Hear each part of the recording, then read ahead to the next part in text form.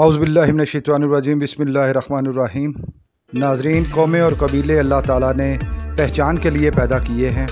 انسانی تاریخ قوموں اور قبیلوں کی تاریخ کے بغیر مکمل نہیں ہو سکتی۔ میں ساجد بھٹی اور آپ دیکھ رہے ہیں ہماری سیریز میرا قبیلہ۔ اور آج ہم آپ کے لیے لے کر آ رہے ہیں پنوار یا پرمار راجپوت کے حوالے سے معلوماتی ویڈیوز۔ اگر یہ ویڈیو آپ کو پسند آ رہی ہے تو اس کو لائک کیجیے، شیئر کیجیے اور مزید معلوماتی ویڈیوز حاصل کرنے کے لیے چینل کو سبسکرائب کر لیجیے اور بیل آئیکن کو دبائیے۔ ناظرین، پنوار یا پرمار راجپوت راجپوتوں کے چھتیس شاہی سلسلوں میں سے ایک سب سے مؤثر قبیلہ ہے۔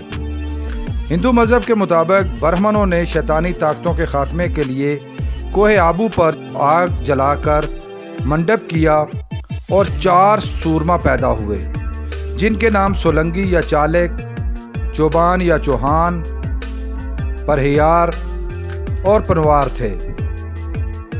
پنوار راجپوت اسی پنوار کی اولاد سے بتائے جاتے ہیں۔ گو کہ ہندو مت کے علاوہ دیگر مذاہب کے راجپوتوں کا اگنی کل پر اعتقاد نہیں ہے۔ اگنی کل سے پیدا ہونے والے چاروں سرماؤں کو بعد میں مختلف علاقوں میں راجدھانی ملی۔ پنوار، دھارا نگر منڈر کلا اور راجپوتانہ کے علاقوں میں آباد ہوئے اور یہاں انہوں نے طویل عرصہ تک حکمرانی کی۔ پنوار راجپوتوں کو ہندوستان میں پرمار اور پوار، جبکہ پاکستان میں پنوار کہا جاتا ہے۔ پرمار دو الفاظ، پر اور مار کا مجموعہ ہے، جس کا مطلب ہے دشمن کو مارنے والا۔ پرمار راجپوتوں میں یہ کہاوت مشہور ہے کہ دنیا پرمار کی ہے۔ پنوار راجپوتوں کی ہندوستان میں بہت سی ریاستیں تھیں اور انہوں نے کئی صدیوں تک ان ریاستوں پر حکمرانی کی۔ بندیاچل دھارا نگر اور مندر قلعہ ان کے سب سے بڑے مراکز تھے۔ جیلم کے قریب سکندر اعظم سے تاریخی جنگ لڑنے والا راجہ پورس پنوار راجپوت تھا اور اس کی خطہ پوٹوہار پر طویل عرصہ تک حکمرانی رہی۔ وادی سندھ اور مغربی پنجاب پر بھی پنوار راجپوتوں کی حکمرانی رہی، مگر بعد میں وہاں سے یہ ہجرت کر کے مشرقی پنجاب کی طرف چلے گئے اور وہاں ضلع رہتک اور حصار کو اپنا مرکز بنایا۔ پچیس سو سال قبل اسی خاندان سے مشہور زمانہ چکرورتی راجہ وکرم آدتیہ نے بہت زیادہ شہرت پائی۔ تاریخ دان اسے پہلا پنوار حکمران مانتے ہیں۔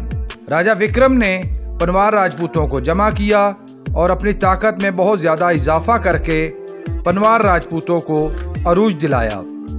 اس خاندان سے کل چوبیس راجاؤں کا ذکر تاریخ میں ملتا ہے۔ ایک دور میں پنوار راجپوتوں کی میسر، دھارا نگر، منڈو، اوجین، مدھیہ پردیش چندر بھاگا چتور، میدنا، پرماتی، امرکوٹ، سندھ پھکر، مور اور پٹن میں ریاستیں قائم تھیں۔ ان میں موری اور سوڈا راجپوت پاکستان میں دریائے سندھ کے کنارے آباد ہوئے۔ ہندوستان کا مشہور شہر اوجین بھی پروار راجپوتوں نے آباد کیا۔ راجہ وکرم آدتیہ کے بعد اس خاندان سے نویں راجہ نے تاریخ میں بہت زیادہ نام پایا۔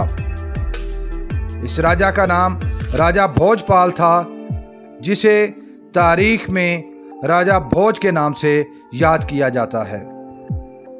راجہ بھوج پنوار راجپوتوں کا سب سے ذہین، بہادر اور جنگی ماہر راجہ مانا جاتا ہے۔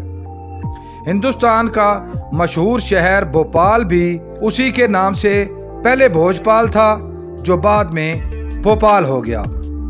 راجہ بھوج نے سن ایک ہزار عیسوی سے ایک ہزار پچپن تک، پچپن سال تک اوجین اور دھارا نگر پر حکمرانی کی۔ اس کی ریاست کی حدود کشمیر سے کیرن اور بنگال تک پھیلی ہوئی تھی۔ راجہ بھوج مذہبی سوچ کا حامل راجہ تھا۔ اس نے ہندوستان میں بہت زیادہ مندر تعمیر کروائے۔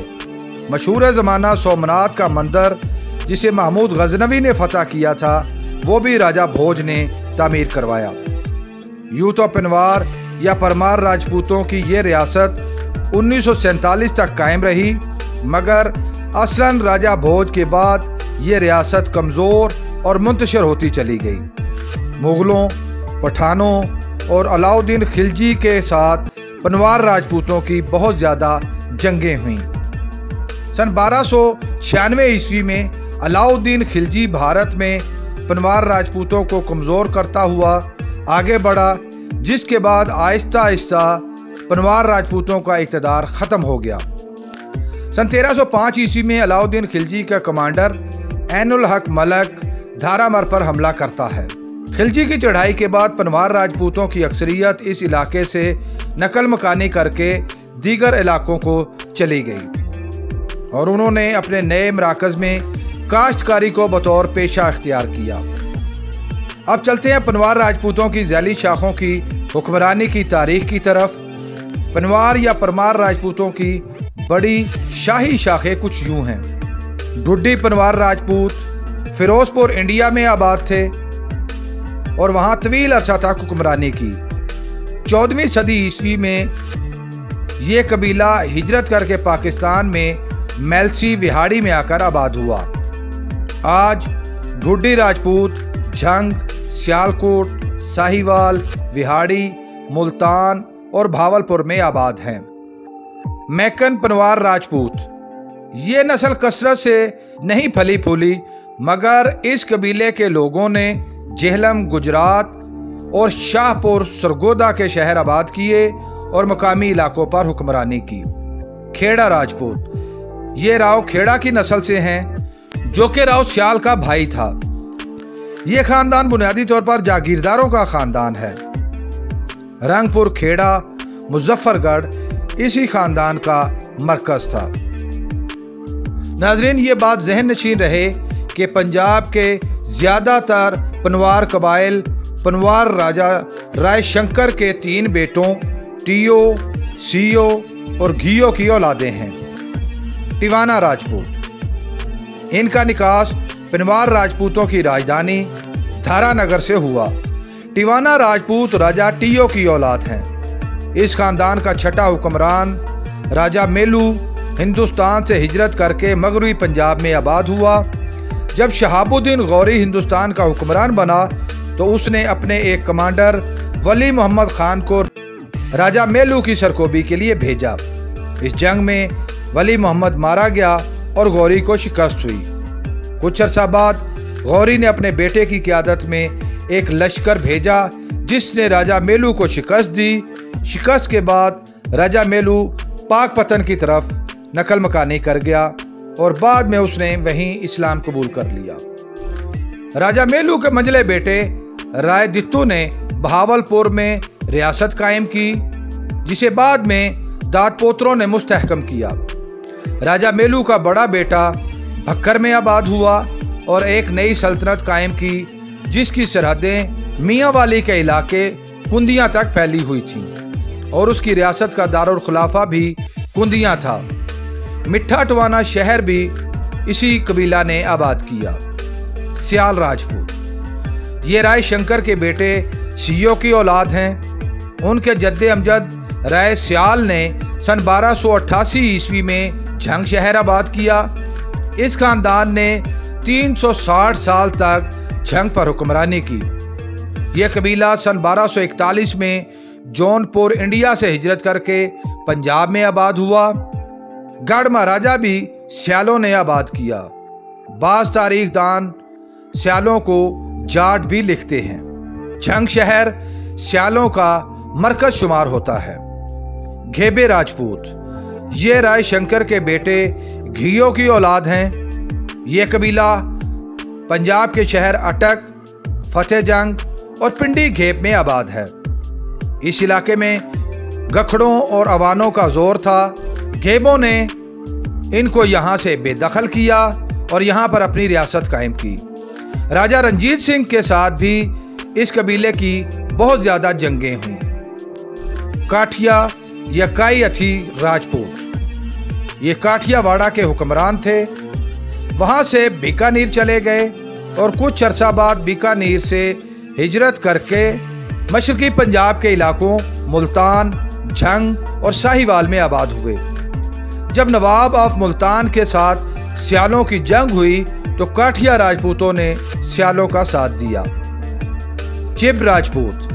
سن بارہ سو تیس سے سن اٹھارہ سو چالیس تک اس خاندان نے کشمیر پر حکمرانی کی جسے ملک جپال بھی کہا جاتا تھا۔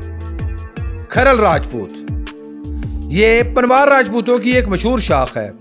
اس قبیلہ کے جد اعلیٰ خارس رائے نے حضرت جلال الدین حسین جہانیہ جہاں گشت رحمت اللہ علیہ کے دست اقدس پر اسلام قبول کیا، ان کے ایک مشہور سردار سردار کمال خان نے کمالیہ شہر آباد کیا، جو کہ کھرل قبیلہ کی ریاست کا مرکز رہا۔ انگریز دور میں ایک حریت پسند سورما رائے احمد کھرل کے انگریزوں کے خلاف محاذ اور جنگوں کی تاریخ بہت زیادہ مشہور ہے۔ یہ قبیلہ جڑا والا ساہی وال اکاڑا، چشتیاں اور بہاول نگر میں آباد ہے۔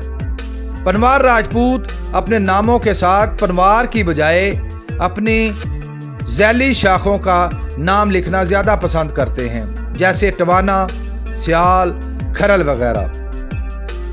ناظرین، ہندوستان کی ہزارہ سال پرانی تاریخ میں پرمار یا پنوار راجپوتوں کا انتہائی نمایاں کردار رہا ہے۔ اس قوم سے تعلق رکھنے والے لوگ انتہائی دلیر، خوددار اور محنتی ہیں۔ یہ اپنے پنوار راجپوت ہونے پر بہت زیادہ فخر محسوس کرتے ہیں۔ ہندوستان اور پاکستان کی سیاست میں بھی پنوار یا پرمار راجپوتوں نے نمایاں مقام پایا۔ ناظرین، امید ہے آپ کو ہماری یہ کاوش پسند آئی ہوگی۔ اگر آپ اس ویڈیو کے بارے میں اپنی رائے دینا چاہیں تو کمنٹس باکس کا استعمال کریں۔